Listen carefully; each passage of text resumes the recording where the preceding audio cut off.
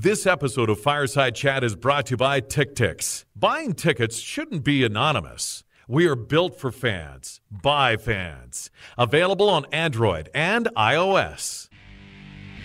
Are you ready? Sea of Red, it's time for another Fireside Chat, the official podcast of Flames fans. It's go time. It's Halloween night, and we are finally talking about a week that hasn't been a whole week of frightfulness from the Flames. As usual, I'm Dan alongside Matt. And Matt, why don't we jump right into looking at the last week of Flames hockey? Sounds like a plan. We last talked just after the Chicago game, uh, the first of the back to backs, and the next game after that, the Flames traveled to St. Louis, where Brian Elliott played his first game back in St. Louis since the trade, and he stopped 23 shots in what ended up being a four to one Flames win. Matt, why don't you start us off with some of your thoughts on the St. Louis game? This was the first time that the Flames have played how they need to play in order to take that next step from a rebuilding team to becoming a quality playoff team. They were all over St. Louis, interrupting them at every opportunity all game, and the Blues, they just could not adapt to the Flames' aggressive defense. When I looked at this game, I was asking myself afterwards, was this is pretty much I think the closest you're going to get to the perfect road game. If you look at what teams try to do on the road, they try to keep things simple. And I thought in this one, the Flames were really keeping things simple. And they were also, and this is something we don't see from the Flames a lot, capitalizing on the special teams opportunities, which is usually the thing that costs us. And I think you could tell that everyone was clicking when the first two goals of the game came from Wideman in Engelland. Yeah, that pass by Versteeg on the Engelland goal was a thing of beauty in its own right. Yeah, I think a lot of people are starting to warm up to Versteeg. I think you need a little bit of time, but he's a good player. He's one of those guys that if he's not having a particularly good game, you don't notice him whatsoever. And then all of a sudden he throws a brilliant pass for a great scoring chance. So Versteeg will never cost you a game or generally cost you even a shift. He's just he's always out there either doing the right thing or just kind of, you know, being neutral. Yeah. But and then the second goal, yeah, the first one from Wideman, I'm like, wow, Wideman scored. This is either going to be the only goal of the night for the Flames, or we've just opened a you know a big hole and we're going to keep scoring. And then Yeah, Engelland well- scored. I'm like, geez, they, okay, they've they've started something here. Yeah. Well, that defense by Jay Bouwmeester on the penalty kill, not seeing that Wideman was like, hey, I'm right in front of the goalie, pass me the puck, you know, just glad he's no longer a Flames defender. For sure. I was kind of looking after the game and I was trying to think to myself, what were the keys to winning in this one? And looking at the numbers, the Flames had fewer turnovers, crisper passes, fewer defensive breakdowns, better entries on the power play, and I think just overall smarter decision making than we've seen from them so far in the season. Well, one of the things that was noteworthy was the defenders immediately confronting the Blues players whenever they had the opportunity to do so.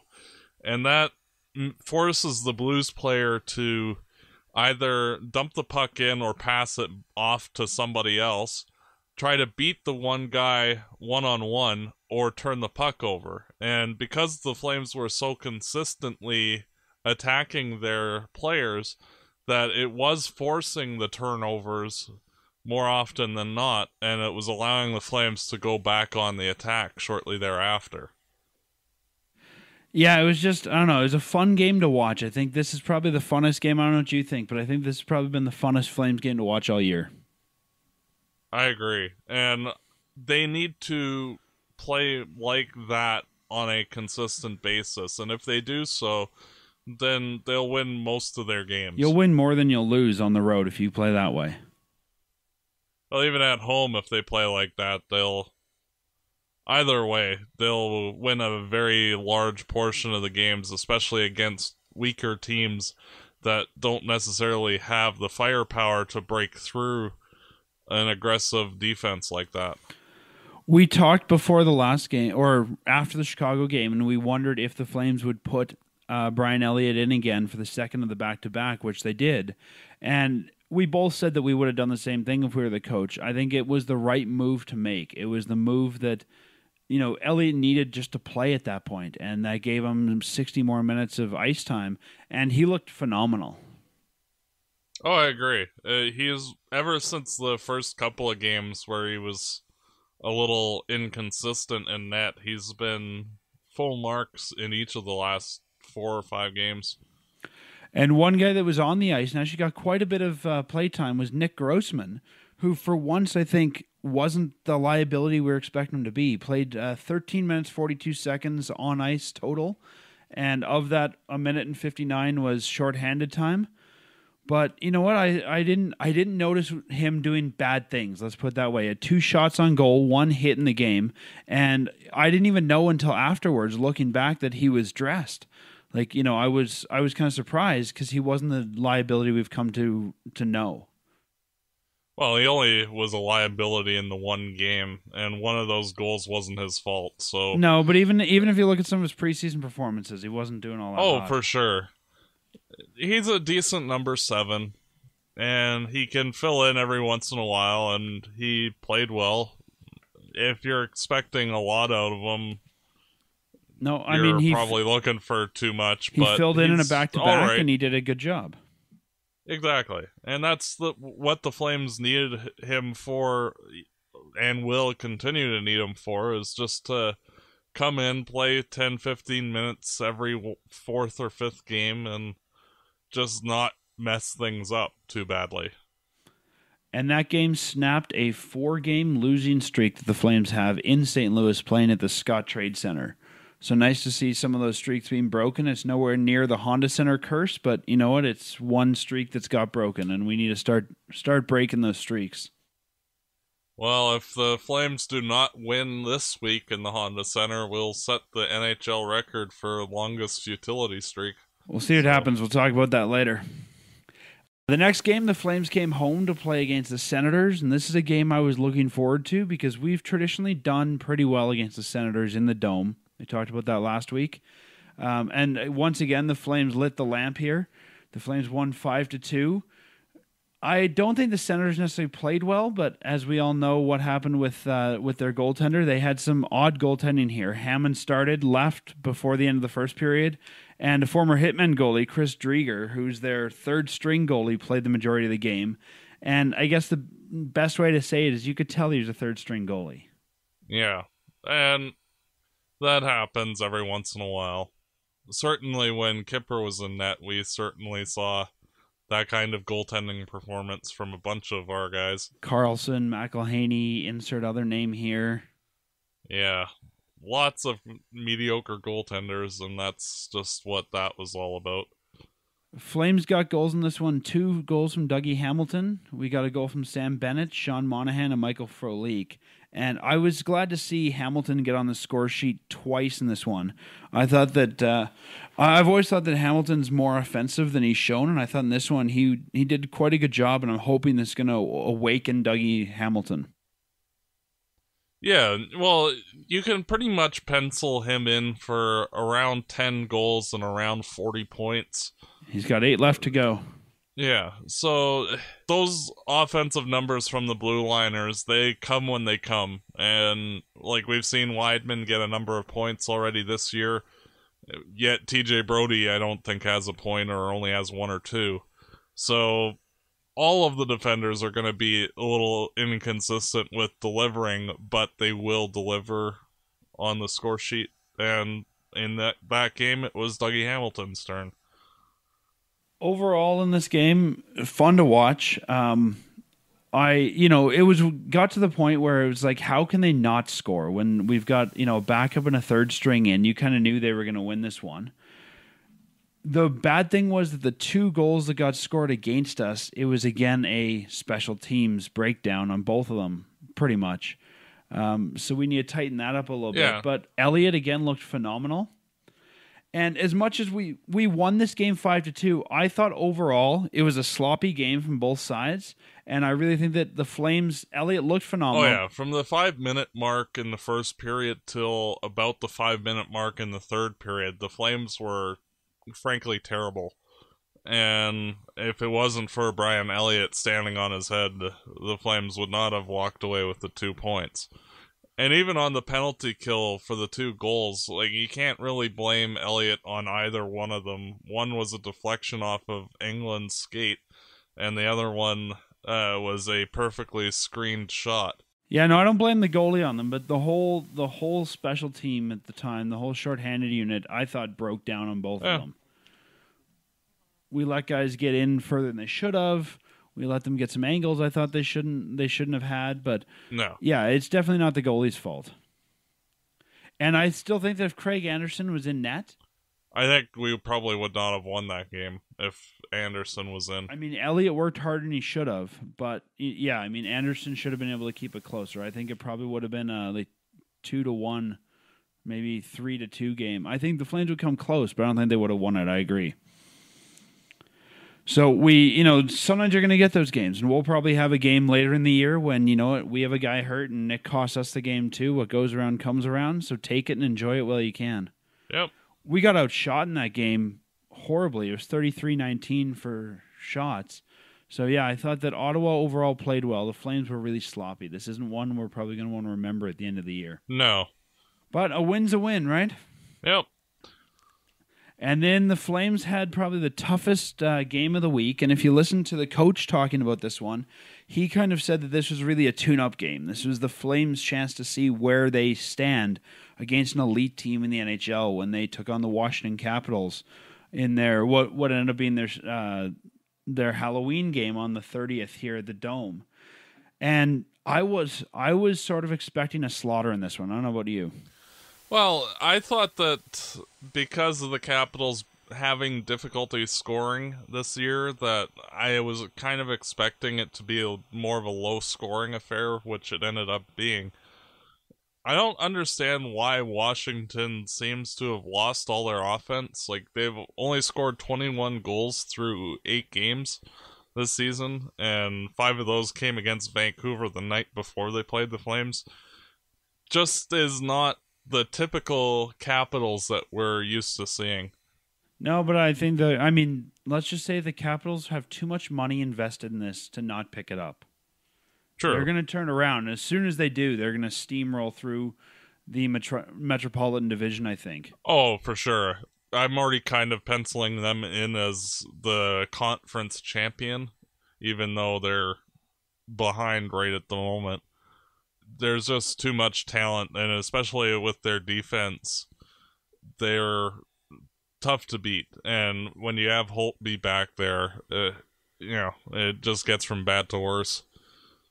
If you listen to the Flames talking after this game, the players they mentioned the word respect a lot. That they gave the Washington Capitals too much respect in the game. And to me, I think you saw that in the first part of the first period. Right up until about the 10 minute mark in the first period, they were giving Washington way too much room. They were letting Washington, you know, get away with stuff they should not have got away with, even five on five. And it really, I don't think, was until we were down to nothing that the Flames really found their game. I thought those first 10 minutes of the first, I mean, the two goals came at 201 and 714. I don't think it was really until the 10 minute mark. I don't know what you think that the Flames really started to. It's like some light bulb just turned on. It's like, all right, let's go play some hockey now. Yeah, and even on that first goal, like that was some bad defensive positioning by both Michael Ferland and Matt Stajan, allowing the guy to Connolly to be left in such a prime shooting area. Like Ferland should have recognized that the guy was there all alone and like even though he wasn't in the right spot for where he had to be, he should have covered Stajan, who was off to the side more and not where he needed to be. Yeah, and I think mistakes that you wouldn't have made against a team that wasn't the Capitals. Yeah, But you know, in, in the Flames, I guess you know, even though we lost it, to me, this was a really good game for the Flames. The Capitals made us battle for everything we got, every inch we got with the puck. You know, every every time we got the puck in the offensive zone, we had to battle hard for all of those opportunities. And the Flames did a pretty good job of that, even though they lost. Remember, they only really lost two to one. The third goal was an empty netter. Um, And to me, even in the loss, this is the kind of game you can be proud about. That you didn't get blown out by Washington. The Flames put up what I thought was a decent fight. And I think it really shows where you are against a roster that, even though it's not playing as well as it could, is an elite roster. And that's the kind of thing I think the team takes away and says, you know what, we did good here, and this is now something to build on. Oh, for sure. And uh, if the Flames had certain lines clicking, uh, more like the Gaudreau line and even the Bennett line, if they were more cohesive on the attack, then perhaps the Flames actually get a couple of goals from them and win the game. But credit to Washington's defense for shutting them right down and pretty much limiting Gaudreau to zero scoring chances in the game. let's talk a little bit about that. So you mentioned Monahan and Gaudreau, and I mentioned this to you tonight before we started recording. But to me, the key for the Flames this season is going to be Monahan and Gaudreau getting better. I mean, they're both out there. Gaudreau's had some flashes where he looked really good. I thought the Chicago game he looked good, but both those guys aren't where they were last year, and they need to start getting there. Neither guy really had a preseason. I mean, Monahan, I think, played one game and Gaudreau played none. So between them, they have 60 minutes of preseason hockey. So I think this might end up being like Jarome Iginla, where it's going to be Christmas before they step in there. But I believe that the Flames aren't going to be a playoff team if these guys don't get it together soon. And I'm actually thinking that the Flames might be better off for the time being of splitting the two up and basically putting Chiasson and Monahan on the line with Versteeg and having Gaudreau with Bennett and Brouwer just to shake some things up and see if there's any chemistry that can be built there just to get their games going a bit. Yeah, I, I agree with you, and I was actually going to bring that up to you. So I, I'm curious at this point if you still think that Monahan is the sort of number one center undisputed. I think that making him and Bennett sort of compete for that in a legitimate competition for number one center would be a good thing. I've heard some people say that they think that actually Bennett has more potential down the road than Monahan does. I know that uh, Kent Wilson at Flames Nation thinks that.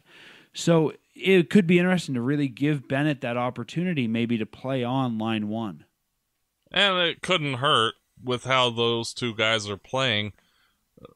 They can just continue to be inconsistent uh, in their efforts on a game to game basis. And if they do click with their new line, then hey, it's all the much better. Well, that would give you two really dangerous lines, which would be nice. But yeah, I mean, and knowing the way that Gulutzan is shuffling his lines, I wouldn't be surprised if we see that happening. But yeah, Monahan and Gaudreau, whether together or separate, they need to turn this on because these guys, I mean, if you look at how much we have invested in just those two, we need some point production. Yeah, and while they haven't been terrible, like they have 11 points between them in the 10 games, if they could get it to be more like 15 or 16 points per 10 games, that would be better. Yeah, for sure. And and I think we will see them pick it up. I think it'll probably be middle of November, maybe late November. I don't think it's going to take till Christmas, but I think it's going to take a few more games for these guys just to get their feet under them. And I mean, Johnny Gaudreau, it's not like he didn't play at all in the offseason. He played at the World Cup and he looked fantastic. So I'm not sure what's going on there. These guys already have chemistry. It's not like we're building a new line, but they just don't feel comfortable for some they don't look comfortable for some reason out there and we have to figure that out. And I'm sure the coaching staff's going to get that. But when these guys turn it on, I think if we think the Flames have played well so far, we're going to see a lot better hockey. Yeah, and um, like you just have to look back to last year with Giordano and Hamilton, how they struggled until about the end of November, and then they were great from that point forward. And I think at worst, you'll see it take to that point for both of those guys to turn it on. And hopefully, if they split them up for a couple of games, maybe you might get one of them going a little faster than the other. Because I think Monahan's still struggling with a back injury because he's looking a little slower out there than he normally does. And I think that's part of what's interrupting the timing between the two of them. You think that's it? Yeah. Hmm. Well, especially like you look at Chiasson, and not to slight him much, but he's not a first line player at all. So Monahan's struggling, then you're basically got Gaudreau with players that should be like on the third or fourth line, not playing with the star player. So maybe shifting Monahan down the roster and having Bennett up there might spark things and get Gaudreau going at least. It's worth a shot at this point. Well, what do you have to lose, really? Well, that's it. I mean, it's worth a shot. You know, it's not. I don't think that splitting those guys up is going to have an adverse effect on your point total in any in any way. If anything, it's going to make it better. But it's not like we're benching one of them or we're taking them out of the game. Like you said, maybe they find chemistry with new line mates. Maybe we find that there's better chemistry between Gaudreau and Bennett. Unless you take the guys out of the game, I don't think you can get any worse. I can't argue with you there. But I think that outside of those two, the story of the last week, really for the Flames, if you look at the lineup, has been the third and the fourth line. Um, usually it's the one, two lines that get all the praise. But I think in the last week here, our defensive lines have really been doing well. We talked about this last show, but Stajan continues to look good. And Gulutzan's finally figured out how to use Stajan. I think that Stajan, Ferland, Bouma line we're seeing they're out there every time there's a face-off in the defensive end, and for the most part, they're successful in winning those and helping us control the puck. In general, the Flames have looked better in the dot this year than we've seen in the past, and it's really interesting to see that Stajan finally has a purpose on this team. Yeah, and we both talked extensively about how he may go down the Mason Raymond tunnel of going to Stockton and getting bought out, but he's really changed his game around and I'd almost say that he is being playing at a level commensurate with his contract instead of a guy that you could just replace him with Jankowski and it, you'd probably improve your team that way. Well, that's it. He's no so, longer warm body number 18 for the Flames, which is kind of where we expect him to be, like we saw with Raymond they've found a role for him, and he's playing well in that role as long as we understand what his role is in this team.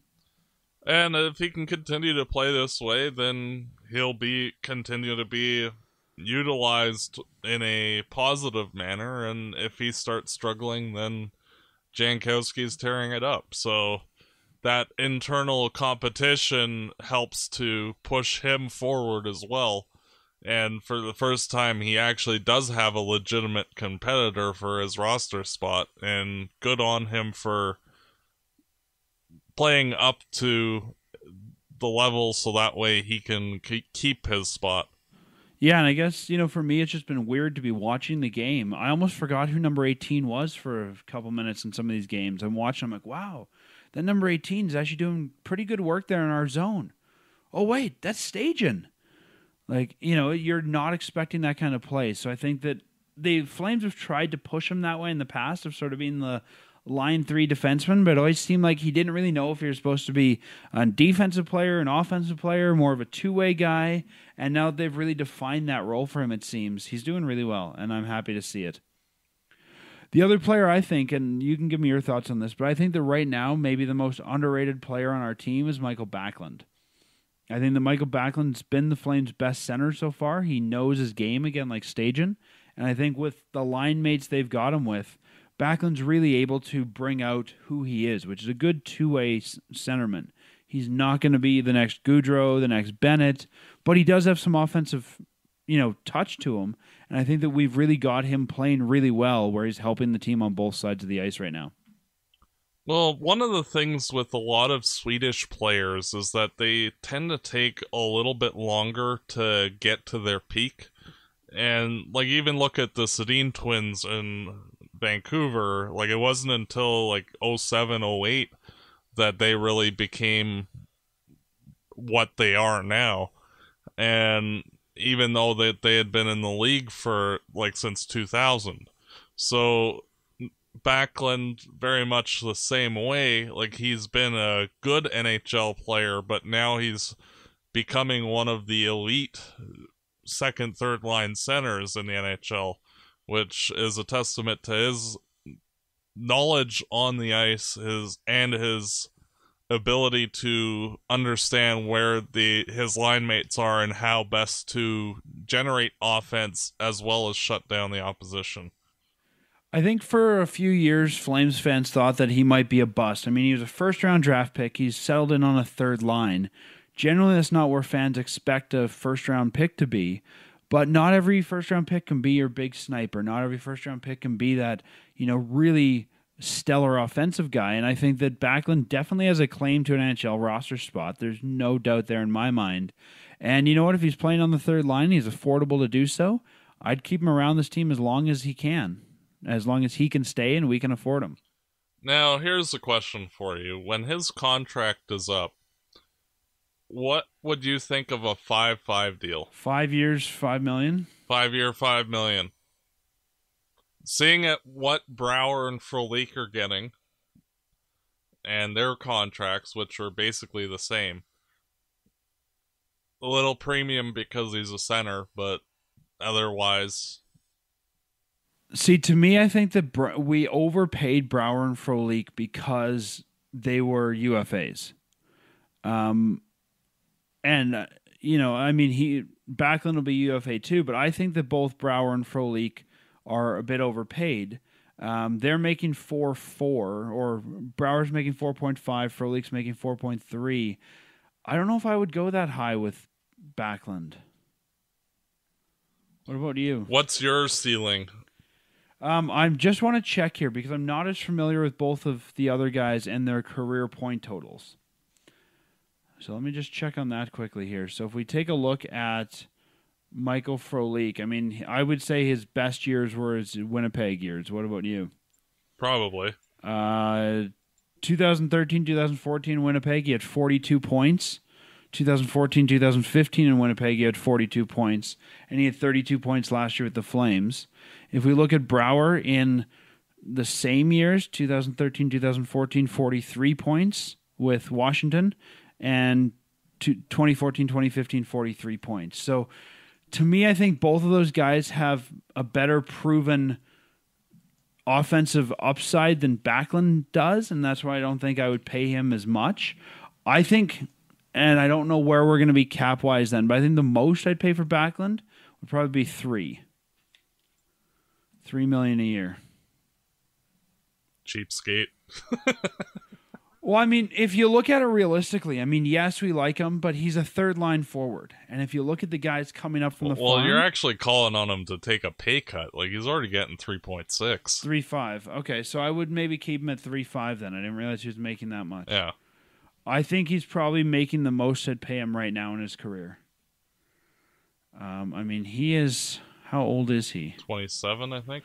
27. So he's got, what, a two year contract? Yeah. This year and next. Yeah, I don't know. I don't. I would not pay him as much. I mean, his best year points wise Was last year NHL, forty seven.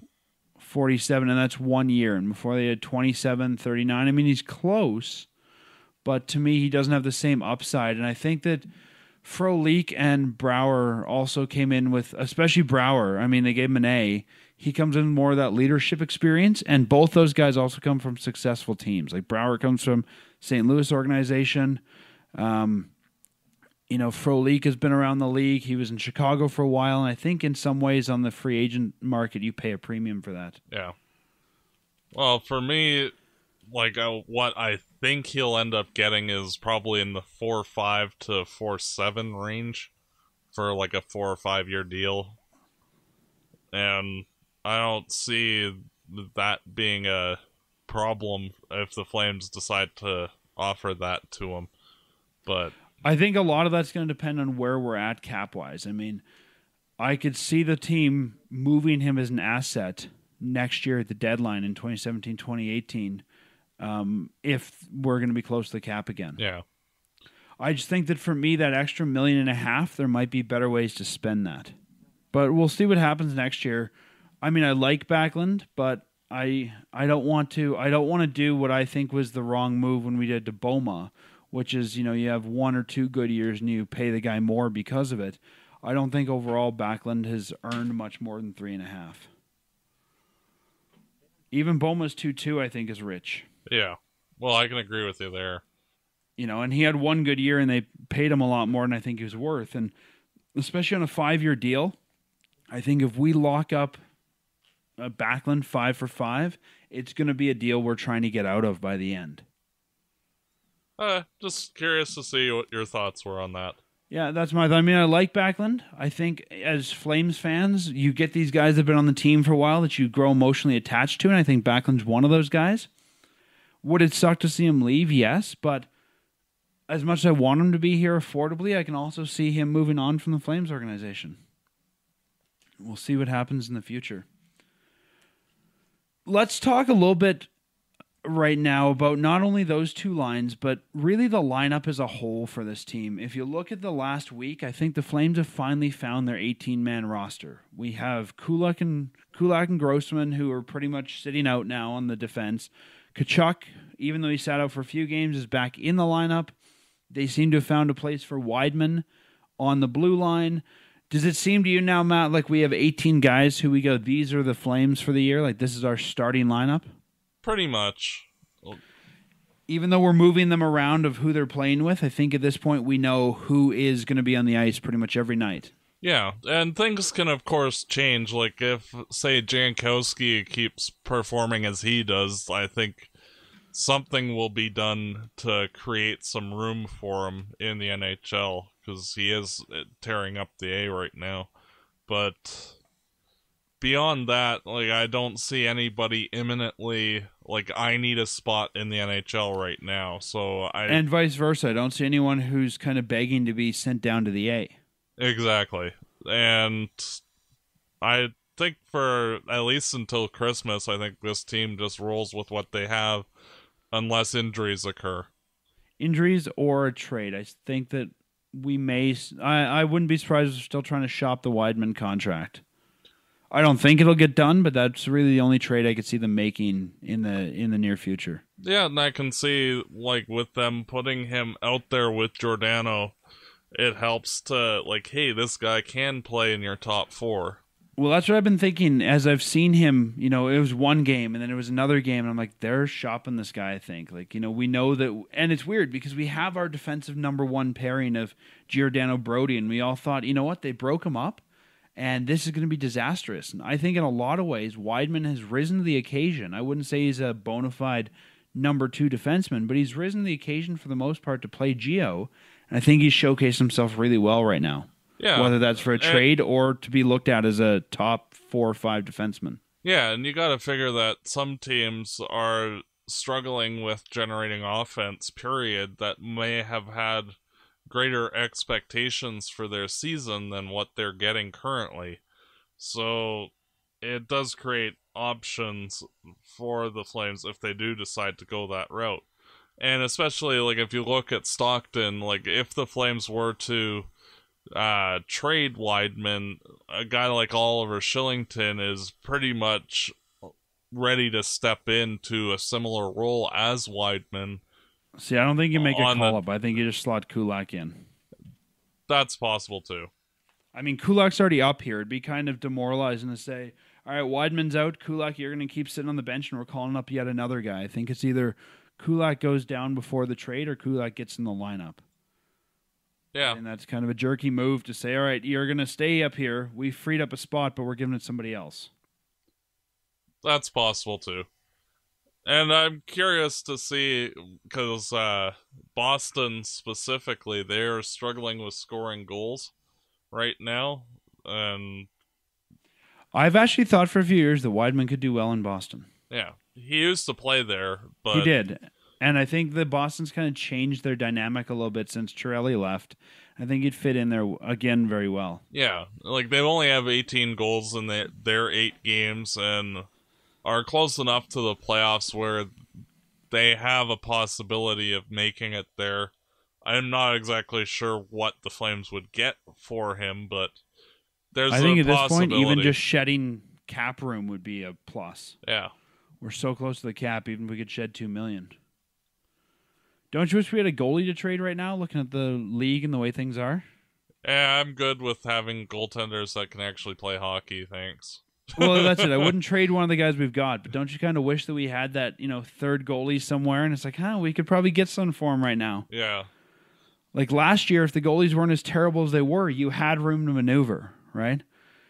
But this year we've got two, and I don't want to trade either one of them I, uh, because then who comes up? McCollum, and I'm not happy with that choice. yeah. But the defenseman we talked a little bit about, I think that Tkachuk being in the lineup is a good thing. Um, we saw Tkachuk got demoted to the third line this week, and honestly, I think that might be the best place for him right now. Well, you saw that in each of the rookie years of Monahan and Bennett, where they got put on a defense primarily line and sheltered a bit.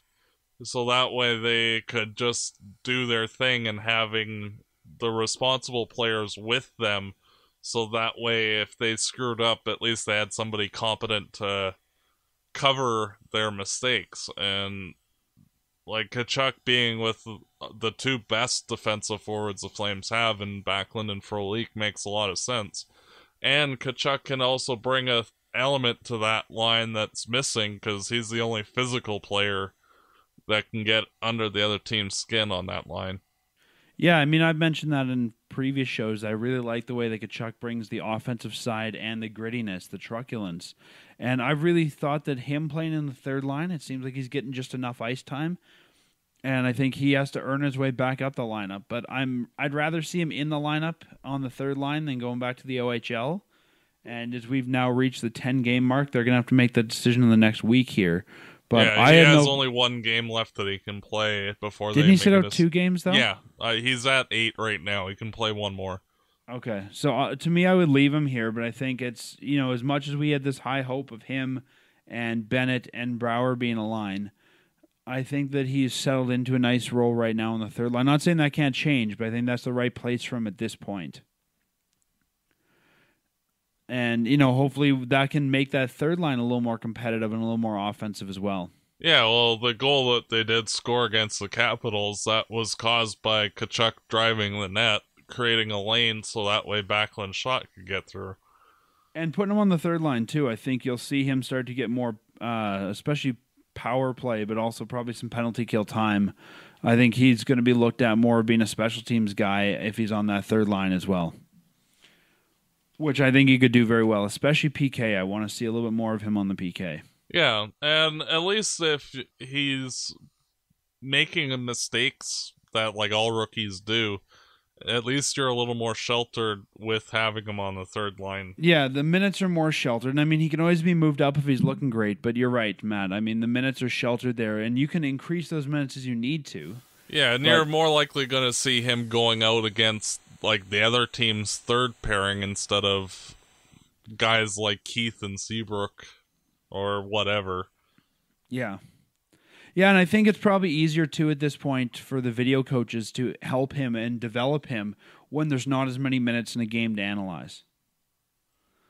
You know, you're playing less minutes, you can focus more on some key situations. And they have been playing him kind of situationally too. They're putting him out, it seems like, in certain situations that they want to put him in. And you have more flexibility with your bottom two lines that way, I think. Yeah, well, we saw that last year when the Flames had Bennett playing on the left wing for the first half of the season, just easing him in and letting him learn uh, how to play defensively so that way when he did get shifted over to center, it, he wasn't getting overwhelmed.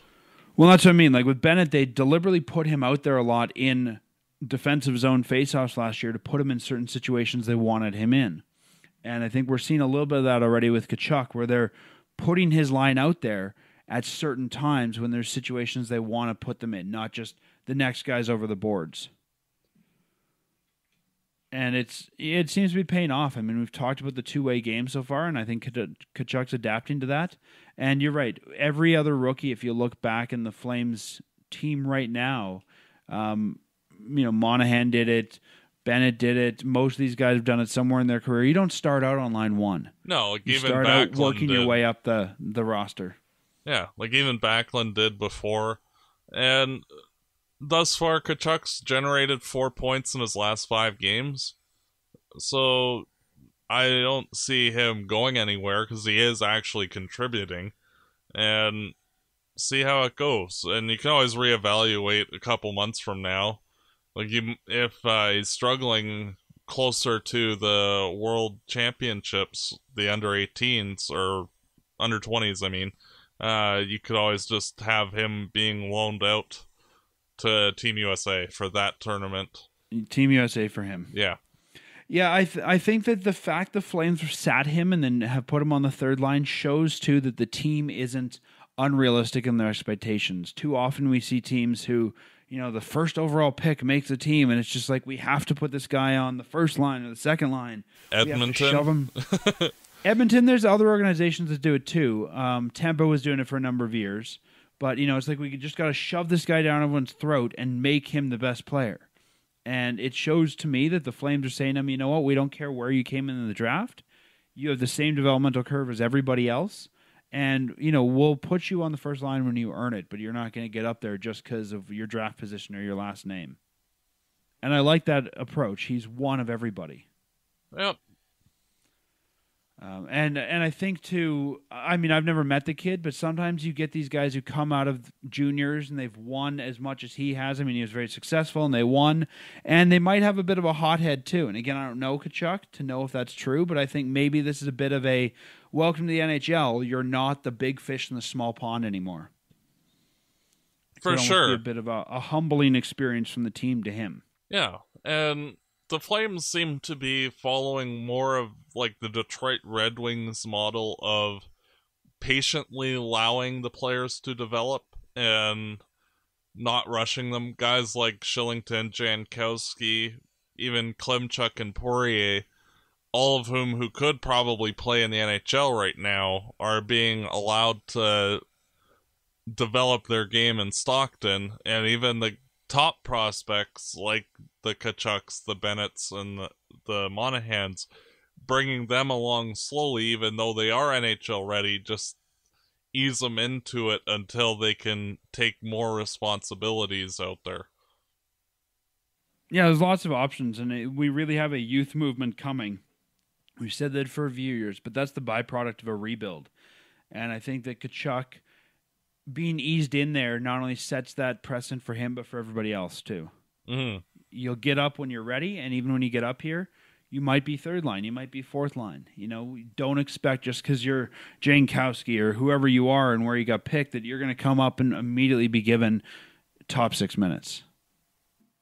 Anything else about the lineup you want to talk about? To me, I think that we now see, like I said, our 18 guys. I think it's clicking. The only question I have with it is what happens to Kulak. I can't see the Flames keeping Kulak and Grossmann both sitting in the box. I still think that Kulak being up here tells you the Flames are trying to get something done with a move on the blue line, whether that's Wideman, who seems the most logical, or something else. But I think if by the end of November Kulak's not playing, let's say five games, he's got to go back to the HL.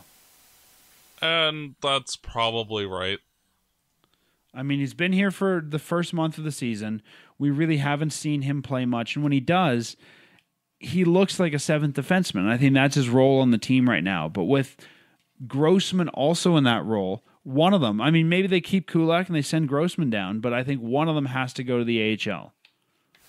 And we just have to wait and see. I think the team's just trying to evaluate everybody at the moment and see. Like we've even seen Jokipakka sit for a couple of games just to get other people in, and Well, I'd he's the most logical guy to sit out, unfortunately. yeah. So it, sort of like the three-headed goalie monster from last year. It's just a matter of figuring out exactly what works, what clicks, and go from there. And like as we were talking about earlier, we could see Wideman possibly getting dealt at some point. Whether that's now or in February remains to be seen. But Yeah, I just don't think you carry eight defensemen No. until February. no, I think that that will be sorted out probably by the end of the month at the latest. It, there's just a lot of back-to-back games in the ne- near future, so And there's back to back games. There's also other teams trying to figure out what they need because you got to have a dance partner if you're going to trade. And I think there's still teams evaluating where their needs are. Yeah, and a lot of teams need offensive defensemen, so that thankfully is one of the areas where the Flames are extremely flush in at all levels of their organization as offensive defensemen, so it just creates options. Yeah, I just brought it up because I think that's the first roster move we're going to see this year, and I think it's going to happen in the next, let's say, by the the 16th, um, you know, mid month, I think that they have to make a decision on the defense, and either Grossmann or Kulak has to go down. Kulak makes the most sense because he does not have to clear waivers, but I think one of those guys fairly soon has to be moved to the AHL. Yeah.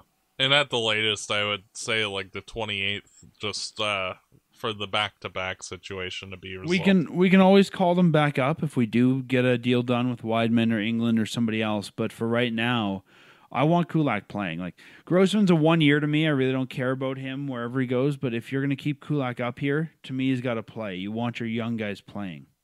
I'm fine if Grossmann sits out, but Kulak, there's still still some development to me that can be done, and that's not done by watching. No, and realistically, he needs to play at least 50 games this year, whether it's in Stockton or in Calgary. So we'll see. And and you know you were mentioning earlier some of these guys in the AHL like Kylington who might be ready to come up, and I don't think you can really evaluate that without seeing what Kulak's done really. And I almost think you got to send Kulak to Stockton and let him play at the same level as these other guys to see if he looks better than them or not. Because the NHL is a step up from the A, so if he's not getting time here, send him down, watch him play, watch you know Kylington play, watch all these guys, and say is he better than them in the same environment? And I think that's what decides who gets the first call up. So that's the roster move that probably gets made. I'm not expecting a huge trade, even if Wideman does get dealt. I'm expecting it's a minor trade, probably. I mean, we don't want to bring salary back, so it's probably for some draft picks. Well, even a guy like, uh, say, like Jimmy Hayes with Boston, like that, that was talked about in the off season. Yeah, that's true. That kind of gives us the extra forward, and that I think sends Freddie Hamilton down if we do that. But that's fine. Yeah. But yeah, something like that. You're not going to take on a guy I don't think worth more than probably a million and a half. Yeah, and even uh, him is uh, I think two point three. So like that would be like the upper end of what you would take on. Yeah, that still sheds about three million. That's probably okay. But an interesting note I did want to put in here, kind of talking about where the Flames have excelled this week, is on the power play. Is that something you thought we'd be excel- eh, we'd be talking about this week, Matt? Oh, I was hoping so after the disastrous start they had. The week prior to last, the Flames in the whole season uh, were one for 25 on their power play. I mean, we started off terrible. We knew we were terrible. Everyone was saying, oh, fire Dave Cameron. And if you look at the last week, as the team has picked up, so has the power play in the last week we've been 3 for 12 on the power play so not a huge improvement but it's an upward trend and i think that as this team sorts itself out and as we get production from Gaudreau and monahan that number's only going to go up so i'm at least glad to see it trending upwards this early in the season one thing to note the team seems to be not taking as much time uh, like in the first handful of games uh, you saw the team standing around a lot with the puck and the other team's defenders just swarming that guy. So, which led to a lot of turnovers and futility with the power play. And I noticed that more so this week that the, the players were only holding it on their stick for a second or two before passing or shooting. Or see, to me, in the first couple games, it seemed like they were thinking. Yeah. It's like they got the puck and they had to say, what am I supposed to do in Gulutzan's system? And I think that's why it looked like they were standing around because the brain had to do its thing. And this week it seemed natural. They got on their puck, on their stick and they knew where to put that puck or what to do with that puck. Yeah. Except for the Washington game, the power play was dreadful in both attempts, but yeah, you can't. Yeah, but, but that's know, a, more of a testament down. of Washington's team, though. Exactly. You're going to go up and down, especially against tough teams, but it's just seemed more natural, at least to me in the, this week, in that the guys knew what they should be doing now. Yep. So I don't think we talked last week about it's not time to fire Gulutzan. I think the you know fire Dave Cameron chance need to stop for now and let's give the guy his dues. I mean, he was a, a head coach. He obviously knows what he's doing. Very few guys ever get that job. So let's give him a chance. Let's see if we can turn this power play around. It's on the right swing right now. Moving away from the Flames for a little bit, uh, as we have in the last couple of shows, let's talk a little bit about Stockton. Last week there was a lot to praise for the team, but this week's been sort of a rocky road for the Heat. What's been going on down there, Matt? Well, they won their first game of the week, seven to five, and looked fairly good during it. Couple of mistakes by Gillies, but not too bad. But in the two games on the weekend, they coughed up significant leads in each of the games. A two goal lead in the Sunday game and a three goal lead in the game on Friday. So overall not doing so good on the defensive side of the puck. But overall, the team is scoring a lot of goals. Morgan Klimchuk already has eight points in his first five games. He only had nine all of last season. Jankowski has seven points in six games. Both Rasmus Andersson and Hunter Shinkaruk have six points in six games. And Hathaway, Preble, Mangiapane, and Colby Roback have five thus far this season. So getting a lot of offensive production. And the most surprising stat, I think, out of all the players on the team is Oliver Kylington is tied for third in plus minus behind only Klimchuk and Roback at a plus five. So for all of everybody's consternation about his lack of defensive play, he's actually been quite effective on the defensive side of it this year. Well, I think another stat that shows that too is the shooting percentage. If you look at uh, him and both him and Andersson both have a zero percent shooting percentage, so they're getting a lot of assists. They're moving that puck around, but they're not taking those big rifling shots. I think the Flames are working a little bit more with them probably on the defensive side.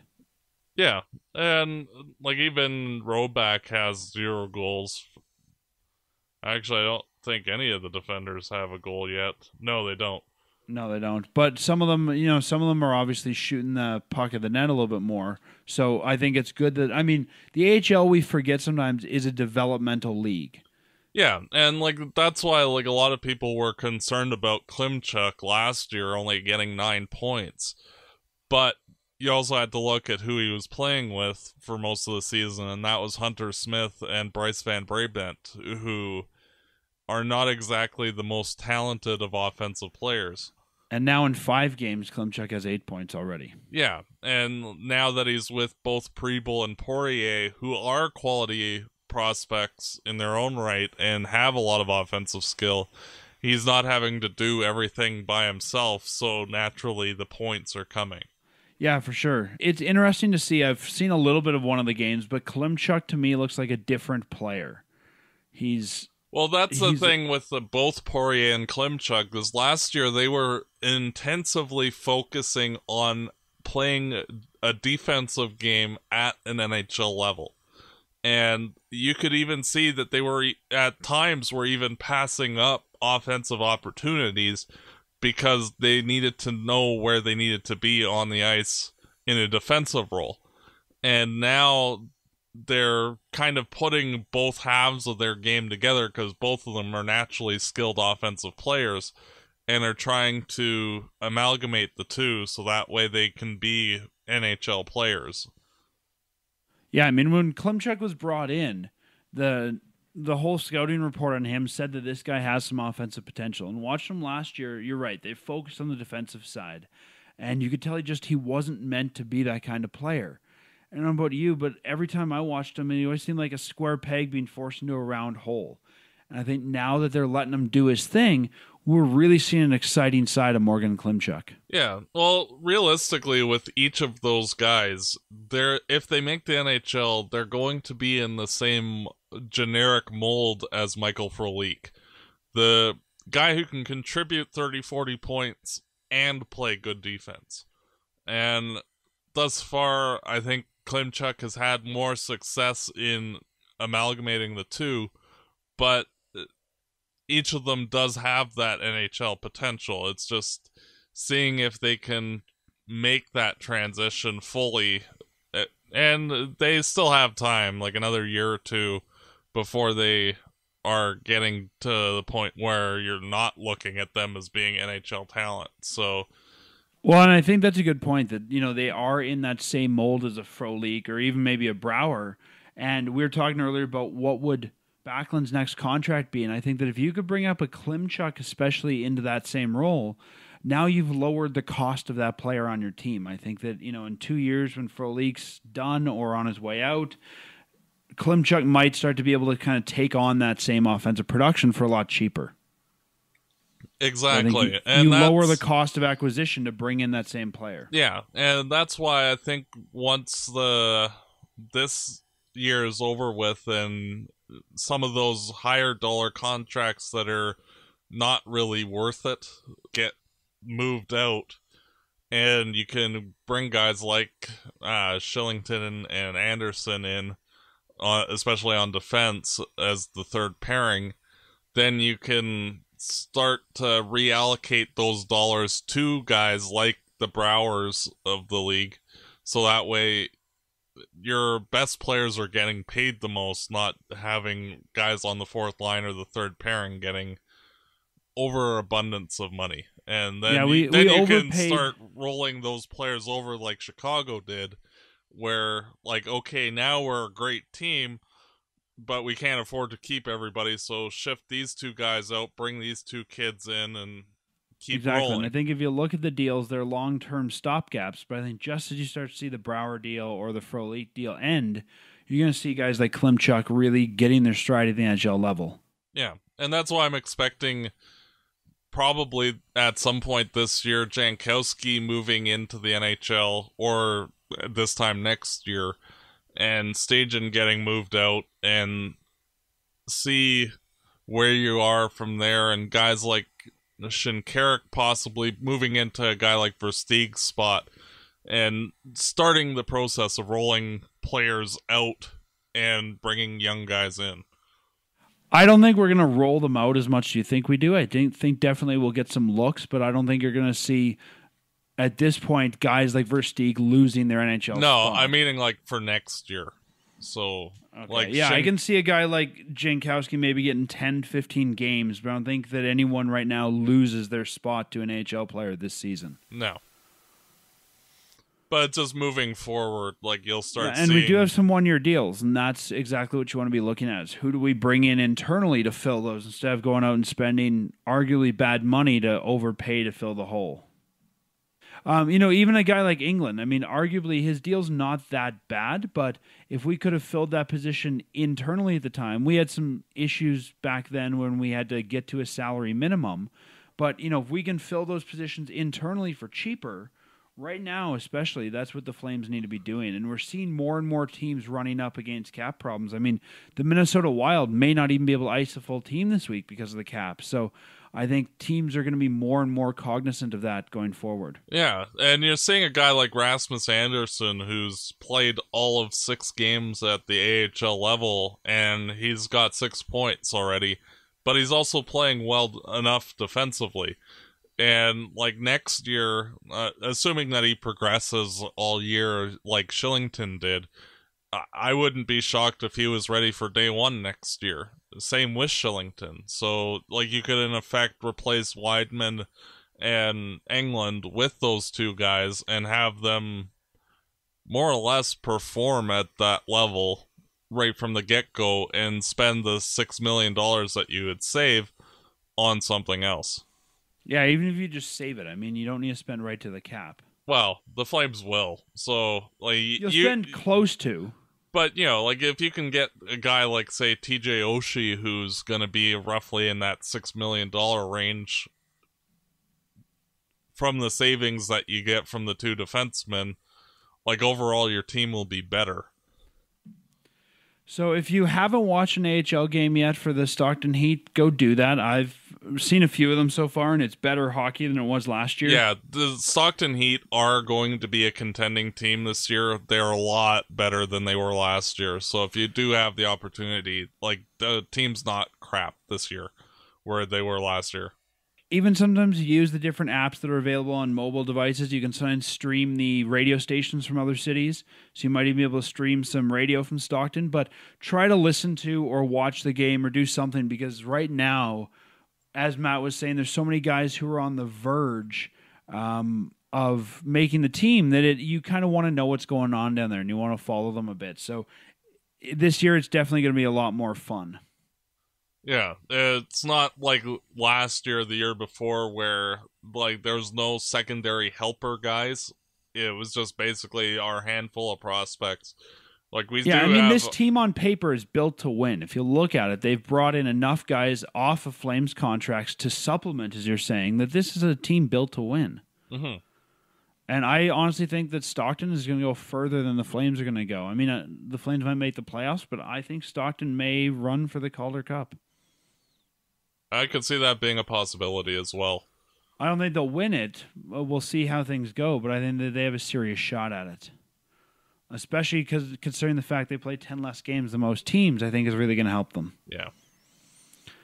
But anyway, moving on from the AHL, um, if we take a look after what's shaken down over the last week and where the Flames now sit before we move into the next week, Matt, believe it or not, we sit in a playoff spot. I know. The Flames got themselves out of the pickle they were in. And we're now sitting in the first wild card spot with nine points, still below Edmonton, who has 14 points. But yeah, they're sitting in the first wild card spot, which is a very respectable place to be And As you said, they're out of that pickle. They still have more losses than they do wins, but it just shows that a good week can really change things around. Yeah, and now that they're going on the road for four games against tough, tough teams, the Flames need to win a handful of those games in order to not squander the three game winning streak in getting back into things and then push forward from there.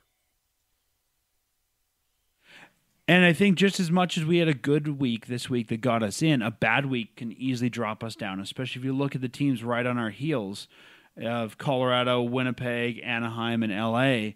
There's not a lot of room for a really bad week at this point. So the Flames have to play, I think, 500 hockey every week for this month if they want to maintain where they're at. Yeah, and we've talked about the tough schedule at least till November 18th, where we're basically playing elite team after elite team. The Flames, by the 20 game mark, if they're around the 20 point mark, then that bodes well for the rest of the season because right from that point through February, most of the games are against inferior opponents. So hopefully the Flames can just hold their own until they get to a slightly easier part of the schedule and make up any ground from that point forward. So, with that in mind, the fact that we sit at the wild card spot, and it's probably time to look ahead to the week that we have. Before we do that, let's look back at how we did last week. If you remember, we came into last week um, with some predictions that were on two different sides of the spectrum. I was expecting the Flames to get three points of the six that were on the table, so pr- pretty much playing 500 hockey. And you were thinking they were going to win everything. And neither of us were right. We got four points on the week, so we stay tied. This week, as we move into November, we have a four game road swing coming up, a big California road swing. This is generally a good road trip, and I'm glad that's early in the season because this is generally a good time for the guys to bond. There's a lot of stuff to do on that road trip, there's not a lot of travel on that road trip, so you often see the guys really clicking after that road trip. But the bad thing about this road trip every year, we have to play in the Honda Center. So, four games coming up. Tuesday, the 1st, we play against the Chicago Blackhawks in Chicago. Thursday, we travel to San Jose to take on the San Jose Sharks. Saturday, we're in LA against the Kings. And Sunday, for the back to back, we go on to Anaheim. Matt, do you want to start off with your predictions? Yeah, I'm going to go with six points. Six points. All right. Yeah. Six of the possible eight. And the one loss will be against the San Jose Sharks, not the Anaheim Ducks. You think we're going to finally break the curse? Well, I keep predicting it. One day I'll be right. Hopefully, this is the week. Either that or you're going to keep predicting this until you're like 80 and we're going to keep losing there. Maybe at one point you just got to predict the loss and they'll turn around. yeah. Well, the next time that I predict them to lose in the Honda Center, that's when they'll win. So, but But do you think we break the curse? You think Yeah. the Flames are doing so well, they're going to finally break that curse. Yeah. Well, it being the second night of a back to back, and with uh, Chad Johnson, his only appearance against them in the Honda Center, he added like a 50 save shutout or something like that. I'd expect him to get that start, so hopefully, Well, that was going to be my next question. So if we're going to break that streak, who's in net? Because I think that Elliott would play against the Kings. yeah. So we'll see. I know the Kings are having difficulty because they've lost their goaltender and have Peter Budaj in net. So So you think we beat Chicago, we beat LA, and we beat Anaheim? yeah, I'm not going to be quite as optimistic this week. I think that with eight points on the table, you have to win two of the four games to even stay competitive. And I think the Flames are going to do just that. I think they're going to get two wins this week. I'm predicting the Flames beat Chicago and they beat LA. I think, like you do, we're going to struggle against the Sharks. And I think that the Honda Center curse is going to stay intact, especially because it's a back to back. So I'm going with four points. I think Chicago and LA is where the Flames get their wins this week. and realistically, any way they can get four points like that to me would be a successful week, regardless. And if they can manage more, then hey, that's better than what I'm hoping for. But It's going to be a tough week either way. Yeah. like I wouldn't be shocked if they only got two points or were shut out. Actually, it's I'd be just surprised if they were shut out. it's just that they can't really afford to lose too many more points. I think if you don't get a single point on this trip, the next next week we start talking about what's happened to this team. I think even if you play competitively, you're going to get at least one point somewhere. Chicago's not playing terribly well. LA's not ter- playing terribly well. I think that to get nothing, you'd have to revert to early October Flames, and then we got some problems. Yeah, Um, but yeah, it's a nice road swing for the team. Not too far to go, and some good team bonding. And then they'll come back for a couple games at home, and then they have another long road swing later this month where they're pretty much on the road for almost a whole week with two back to backs there. So it's going to be a rough road swing. So hopefully now after the St. Louis game, especially, I think that if they can play that same way they did in St. Louis on the road this week, things are going to go their way. That was just to me that was the perfect road game. yeah. Well, hopefully that can they their good efforts on the road can continue and hopefully eventually figure things out in the Saddledome so that way they're playing at an equally high level regardless of which ice they're on. Once the game comes together for a good team, you look at a Chicago or a San Jose, it doesn't matter what ice surface you're on.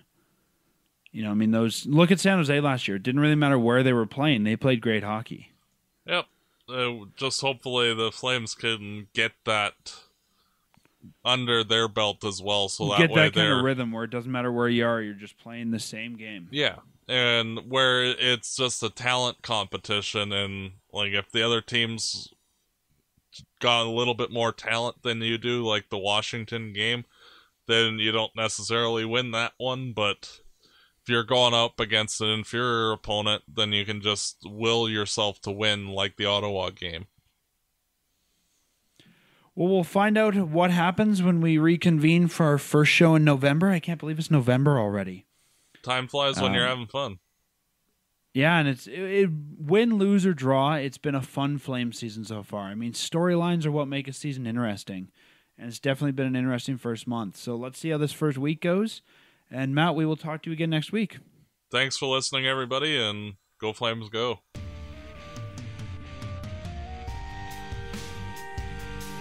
This has been another Fireside Chat.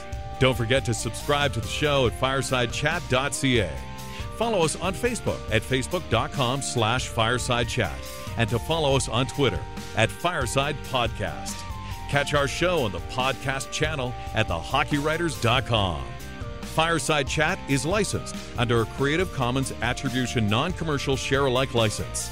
Hosted by Dan Stevenson and Matt Dubourg. Produced and edited by Peter Marino and Ryan Coetz.